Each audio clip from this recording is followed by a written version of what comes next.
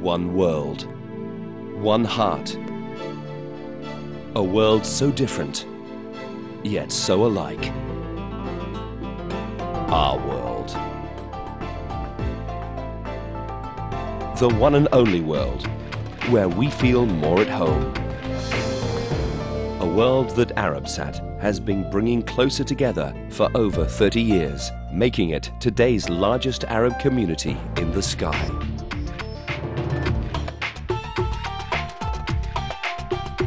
The world of Arabsat. Now, we're bringing it closer than ever.